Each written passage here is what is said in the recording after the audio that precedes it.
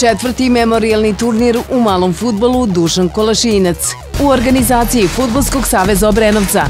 Kotizacija po ekipi je 10.000 dinara.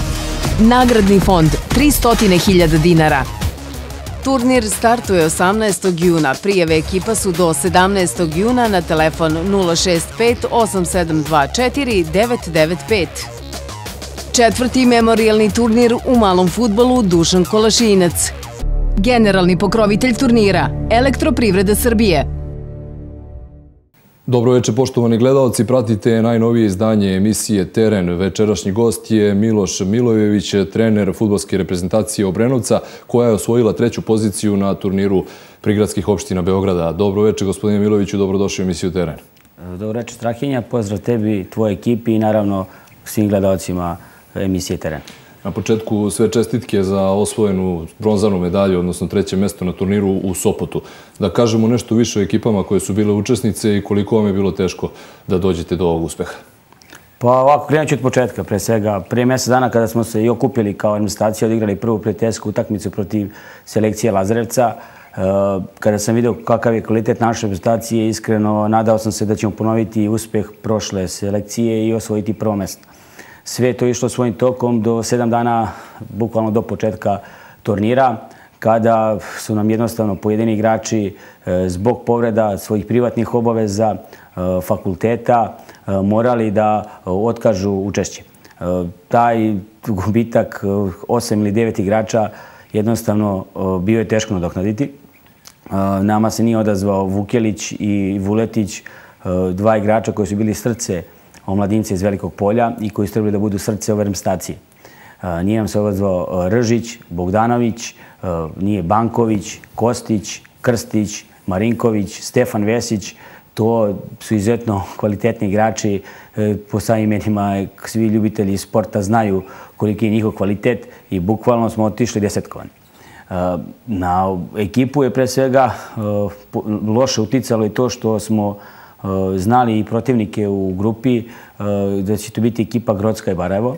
Eh, uglavnom su te dve ekipe u prethodnom periodu bile ekipe koje su uvek bile bukvalno najlošije plasirane. Ekipa se totalna prestacija opustila. Smatrala je da ćemo lako proći tu grupu u subotu. Ja zajedno sa E, kompletnom, e, kompletnim znači, strukturom ljudi u Futbolskom savezu Obrenovac. Pokušali smo da jednostavno objasnimo igračima da e, neće biti ni malo rako, pogotovo što za Barevo igraju pojedini igrači koji su igrali i Srpske lige. Otišli smo u subotu na turnir. Na prva utakmica Grocka, koju je Barevo pre nas dobilo 5-0 ulazimo u utakmicu, onako opušteno, lako ćemo, 1-0 samo do, da se kaže, do zadnjih 18 ili 19 minuta utakmice, a nama treba, na primjer, pobjeda od šest golova razlike da bismo utakmica utakmicu Barevom, da bi nam igrao i taj bod. Uvodimo naše, ja vršim znači tri ili četiri izmene, uvodimo Vuka Ilića, Aleksića, Aškovića, što se odmah osjeća i bukvalno za 18 minuta postižemo šest golova i dobijamo utakmicu 7-0. To je, imao sam utisak, moji igrači još više opustilo jer su vidjeli koliko su dominantni i koliko su superni u odnosu na, na, na, na, na, na ekipu s kojom smo igrali. I to često bude problem u narednim mečevima, verovatno se pokazali pa, na turniru. Da, zato što je naredni meč bio bukvalno u roku od 15 minuta. Uh, izlazimo za najjačom postavom protiv ekipa Barajeva i dalje skrećemo pažnju da su odlična ekipa, ekipa koja čini igrači koji, koji većina tih igrača igra velikom borku, a svi ljubitelji futbola znaju da do pre dve godine veliki borak je igrao značajnu ulogu i u Prvoj Gradskoj ligi jedno vreme bio bedljivo treći i završio tu sezonu na trećem mjestu sa Špoljarićem i Vojvodićem igračima koji su poznati i u Srpskoj ligi, a ne samo i Opštinskoj. E, tu je i, i, po meni najbolji igrač Unila Roksandić koji je pokazao koliko, koliko je kvalitetan igrač i jednostavno ekipa Barajeva uopšte nije bila toliko Eh, da kažemo, eh, slaba koliko su moji igrači mislili, što su osjetili u prvom polovremenu, kada smo, eh, slobodno mogu reći, primili i, i, i, i, i jedan go ovaj, iz jednog slobodnog udarca koji je ne, nepravedno uopšte i dosuđen za nas. Barao je, moram da kažem, isto je malo izuzetno pomoći sudija.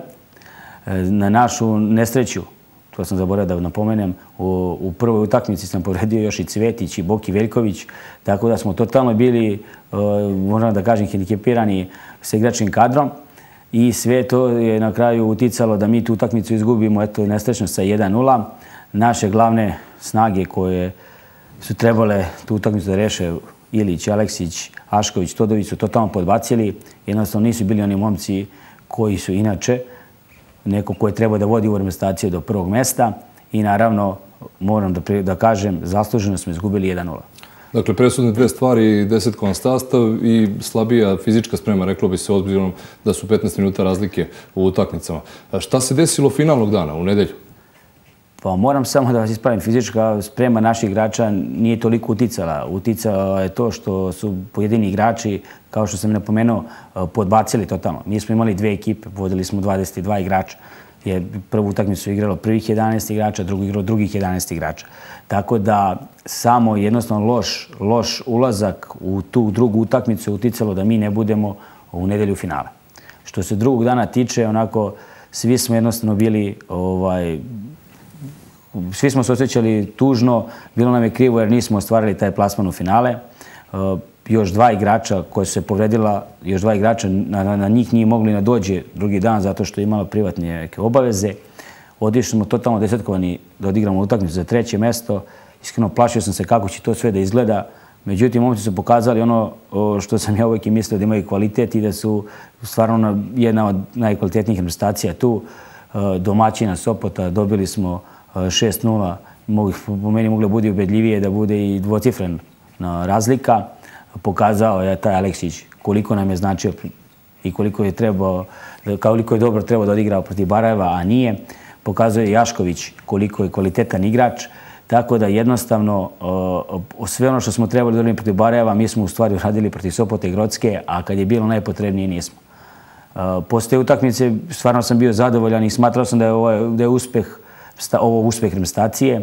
Međutim, posle ogledanog finala i utakmice Barave Lazarevca shvatio sam da totalno je možda i ne, u jednu ruku i neuspeh, jer smo stvarno kvalitetna prestacija i stvarno je šteta što nismo igrali finale. Smatram da bi u finalu e, izuzetno lako dobili ekipu Lazarevca, a sa druge strane ekipa Barave pokazala ono što sam rekao da je iskusna, na jednu iskusnu igru e, dobila tu utakmicu na penale.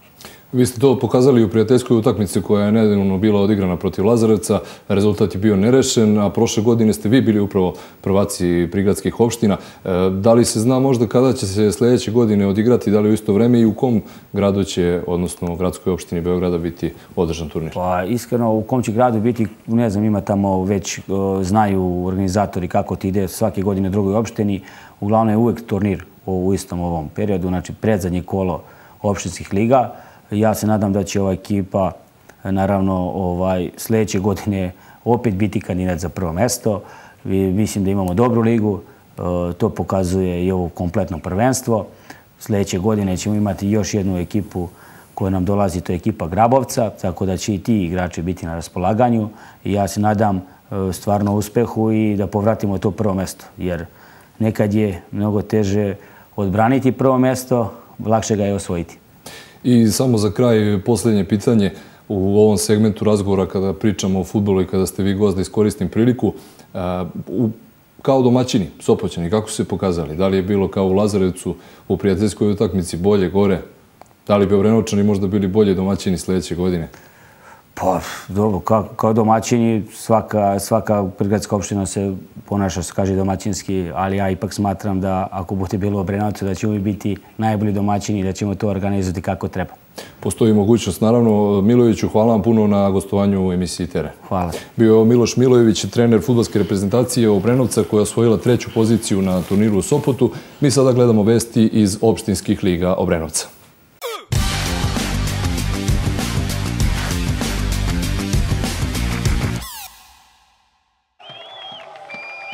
Jedna od najzanimljivijih futbalskih priča na prostoru Obrenovca tokom protekle sezone završena je na očekivan spektakularan način. Futbalski klub Rojkovac, formiran prošle godine na veliki pravoslavni praznik Vidovdan, postao je šampion druge opštinske lige Obrenovca. U utakmici posljednje kola protiv Futbalskog kluba Crvena zastava, futbaleri plavo-bele familije ubedljivo su triumfovali sa 11 postignutih pogodaka, iako je susret prekinut u 78. minutu. Pehar i ulazak u viši rang, uprava, igrači i navijači proslavili su tako što su se otvorenim autobusom sa trubačima provozali kroz glavnu ulicu Obrenovca i nakon toga organizovali prelepu bakljadu u svom naselju. Stefan Radojičić, kapiten i pokretačka snaga ekipe, zahvalio se navijačima na podršci tokom protekle sezone.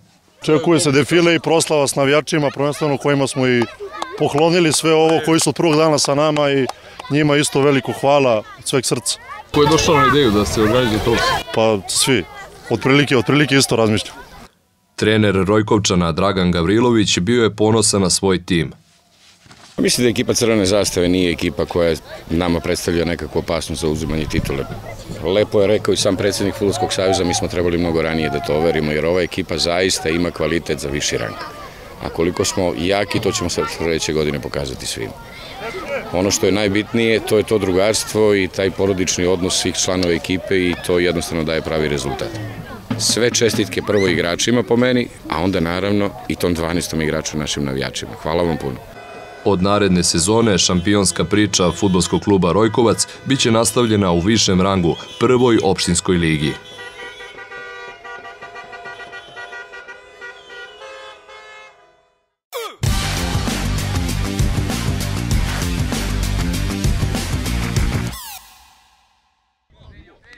Proteklog vikenda u Krtinskoj je odigran susret između domaće ekipe i futbolskog kluba Omladinac iz Velikog polja. Gosti su slavili rezultatom 1 prema 2. Trener Krtinske Milivoje Marijanović pohvalio je igru protivnika. Dosta dobro vidi se da su radili tokom cele sezone naporno. Možda im je hvalilo dva, tri igrača koji nisu igrali iz standardnih ekipa, ali zasluženo su osvojili. Pobedili su nas, nisu nas nadirali nešto s obzirom da Mislim, ja sam zadovoljan prikazanom igrom i odnosom prema igri i naših i njihovih igrača. Planovi futbolskog kluba Krtinska u narednoj sezoni bit će vezani za ulazak u viši rang. Pa ja sam uveren duboko da, s obzirom da i po tome smo možda, rekao bih, izuzetak. Mi smo jedina mestna zajednica, selo koje ima svojih 23-4 igrača tako da ćemo da pokušamo sljedeće godine to da iskoristimo i da pokušamo da idemo stepenicu gore. Odlični uslovi koje pruža igralište u Krtinskoj i brojni talentovani futbaleri ovog tima bit će najjači aduti za ulazak u viši rang sljedeće godine.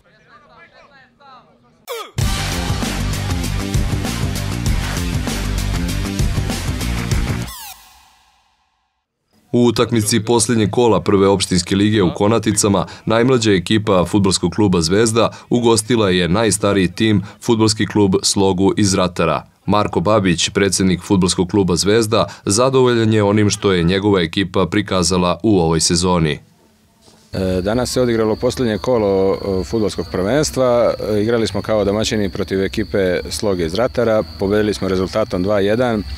E, sa igrom nismo baš nešto e, zadovoljni, ali rezultat e, je bitan i najbitnije je da celo ovo prvenstvo i u prvom delu prvenstva i u drugom smo ostali neporaženi na domaćem terenu, što je za nas veliki uspeh, jer smo, tako da kažem, najmlađa ekipa u ligi i trudit ćemo se da sljedeće godine budemo što ambiciozniji i napravimo što bolje rezultate.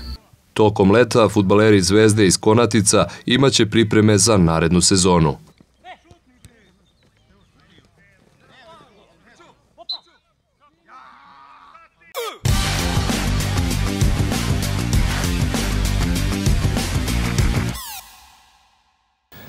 Nakon futbolskih vesti prelazimo na borilačke sportove. Gost u studiju je Filip Radovanović, trener kluba borilačkih sportova Knez Lazar iz Obrenovca. Gospodin Radovanović, dobro večer, dobrodošli u emisiju Teren.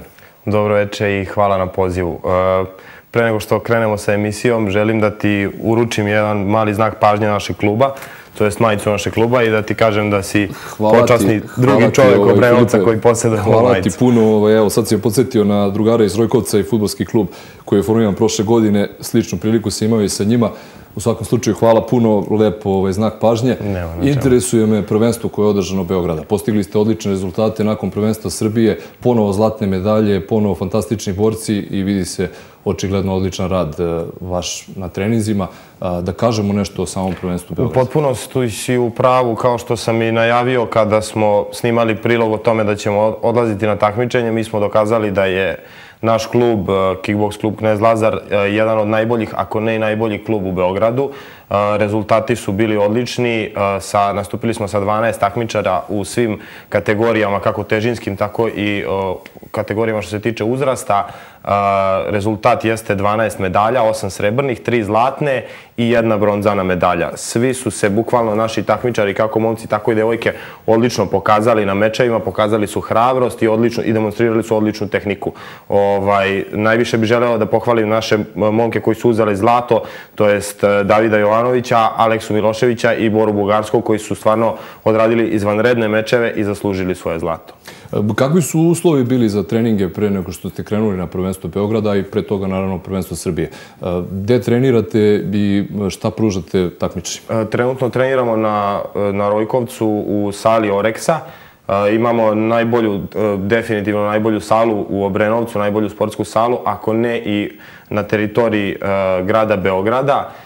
Bukvalno imamo sve rekvizite potrebne za trening, imamo stručno osoblje od pre nekoliko dana e, je sa nama i drugarica Sanja koja je nutricionista, time se bavi inače profesionalno, ovaj, tako da svojim takmičarima stvarno pružamo sve uslove i zbog toga oni i ostvaruju ovakve rezultate. Ne samo zbog uslova i zbog njihove naravno ovaj, predanosti i njihovih odricanja, ali i zbog toga što je naš kickbox klub definitivno jedan od najboljih borilačkih klubova u Obrenovcu, sigurno najbolji.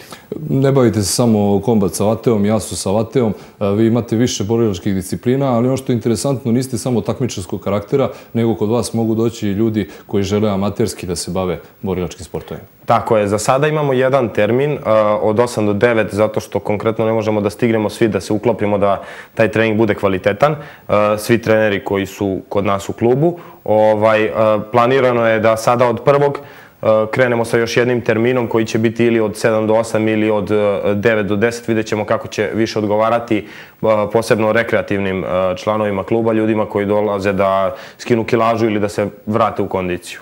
Interesantno je da nisu samo muškarci na trenizima. Video sam kada sam posmatrao vaš trening da ima dosta devojaka, ženske populacije. Kod nas to jeste otprilike 50-50% kada bi to procentualno posmatrali.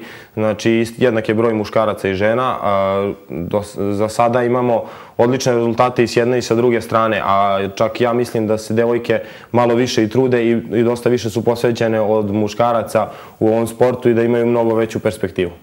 Povećao se broj e, takmičara na treninzima, ali broj rekreativaca. E, još jednom da kažemo, ljudi koji gledaju možda bi da dođu i posjete vaše prostorije, postoji li neko ograničenje u godinama, da li donje ili gornje granice?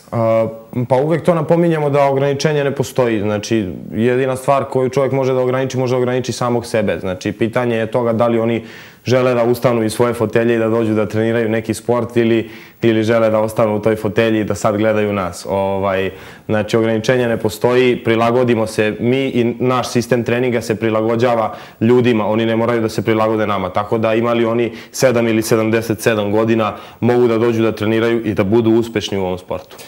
Za kraj samo da uvedemo temu za sljedećeg gosta. Mladi i talentovani David Jovanović, neka reč kao trenera, obzirom da ste stručni i pokazali ste da ste u radu sa njim napravili veliki uspjeh, dve zlatne medalje za nešto manje od dva mjeseca. Dakle, reč o Davidu Jovanoviću.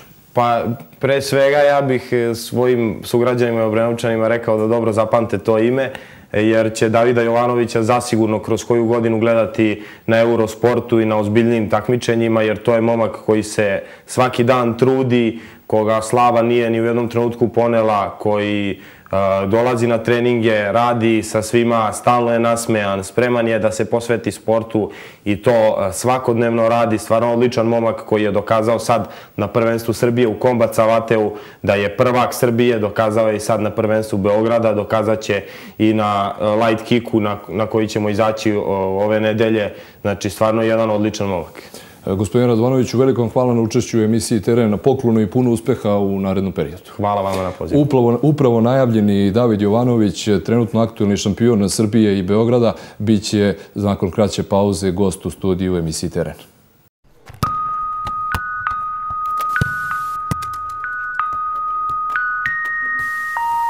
Četvrti memorialni turnir u malom futbolu Dušan Kolašinac u organizaciji Futbolskog saveza Obrenovca.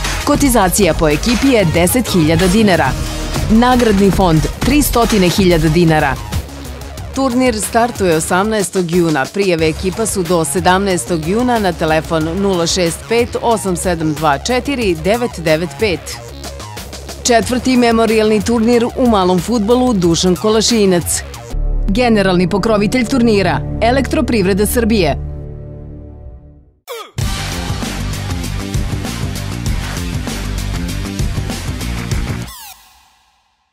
I dalje pratite emisiju Teren, upravo najavljeni David Jovanović, šampion Srbije i Beograda, nedavno na prvenstvu u Aso Savate u kategoriji do 60 kg, je naredni gost u emisiji Teren. E, Jovanoviću, dobrodošao u emisiju Teren i čestitam ti zaista prvenstvo Srbije i prvenstvo Beograda. Hvala i hvala na pozivu. Samo 17 godina imaš. Šta te to opredelilo da se baš baviš borilačkim sportovima? Pa kao mali sam imao želju da postanem kickbokser i borac i to sam ostvario. Kaži mi kako je bilo na prvenstvu Srbije, a potom i kako je bilo na prvenstvu Beograda. E, na prvenstvu Srbije to je bilo e, u disciplini kombat savatea. Osvojio sam prvo mesto. Imao sam teške mečeve, takmičari su e, bili spremni, ali sam ih savladao, spremali smo se dugo i uzeo sam zlatnu medalju.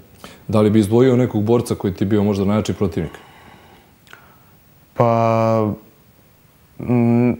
Ne znam, ne znam sad baš šta čujem. Jednaki su svi, obzirom da, da su svoju zlatnu medalju. Da, svi su bili spremni. Ali niko ti nije predstavio problem, da, tako? Da. E, kaži mi ovaj trenizi, kakvi su sa Filipom Radovanovićem, trenerom i kakvi su uopšte uslovi u prostorijama kluba Obrljaških sporta u Uslovi su odlični, imamo sve što nam je potrebno za treninge i e, treninzi su odlični. Filip e, dobro vodi treninge i zato i ostvarujemo ovako dobre rezultate. E, Filip nam je malo pre rekao da si veliki talent. Koliko ti treniraš u toku nedelje i koliko posvećuješ e, vremena sportu? Pet puta nedeljno i dosta, dosta posvećujem vremena u sport i pa pet puta nedelje. Odlično.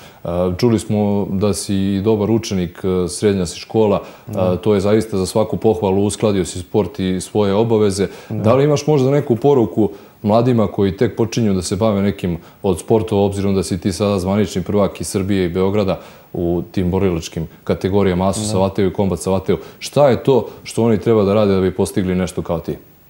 Pa ne treba puno talenta, samo trud i veliki trud i trening i to je to. Znači, zalaganje je najbitnije. Da. Kaži mi, da li se pripremaš za neko od predstojećih prvenstava? E, da, da, desetog E, Sada, ovog mjeseca. Da, desetog. Imamo, e, ja mislim da je prvenstvo u Beogradu u disciplini Kick Light. I kako su očekivanja? Pa spremat ćemo se još jače i bolje i mislim da ćemo ostvariti, sigurno ćemo ostvariti još bolje rezultate. E, teško je kada postigneš velike uspehe to održati, ali ti ja želim da taj težak posao i obaviš i da ponovo doneseš zlatne medalje, jer obzirom da nisi ništa drugo sem zlata ni osvaja. E, želim ti puno sreće, očigledno da će pred tobom biti veliki uspeh što se tiče borilačkih sportova i hvala ti na učešću u emisiji Tera. Hvala i vam. Bio je ovo David Jovanović, upamtite to ime, jer će možda biti jedno od svetskih imena borilačkih sportova, dečko koji u 17 godina u kategoriji do 60 kg postao prvak Srbije i prvak Beograda u kickboksu. Gledali ste još jedno izdanje emisije Teren. Vidimo se ponovo za sedam dana.